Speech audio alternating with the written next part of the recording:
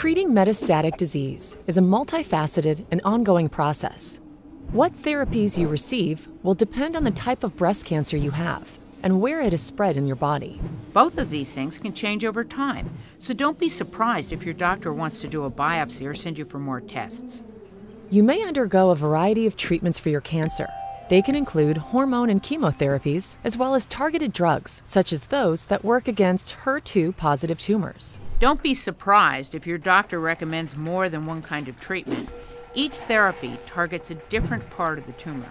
Surgery and radiation are common tools used to remove, eradicate, or shrink the metastatic tumor.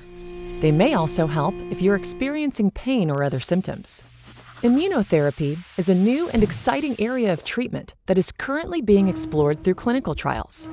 It works by changing how the immune cells behave so they can kill tumor cells. If your cancer stops responding to your current treatment plan, clinical trials of new drugs may be your best bet. Ask your doctor about any new trials that may target the type of cancer you have to see if you qualify. A palliative care specialist is an important part of your team.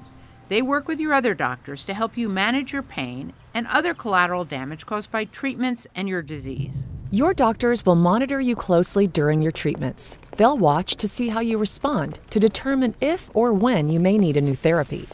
Don't become discouraged by the complexity and quantity of treatments. Today, we have many tools available to keep you feeling as good as possible.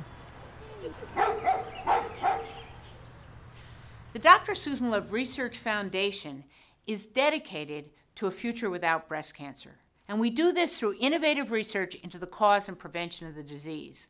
We ask you to join us at drsusanloveresearch.org. You can participate in our research, you can support our research, because if we all work together, we can be the generation that ends breast cancer.